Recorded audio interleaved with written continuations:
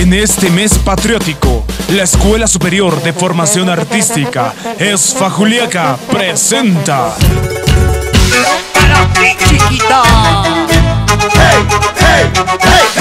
El primer festival de danzas Costa, Sierra y Selva en homenaje al Perú. Este 27 de julio en el Teatro Municipal desde las 3 de la tarde. Todo el colorido y belleza de nuestras danzas. En el primer festival de danzas Costa, Sierra y Selva en homenaje al Perú.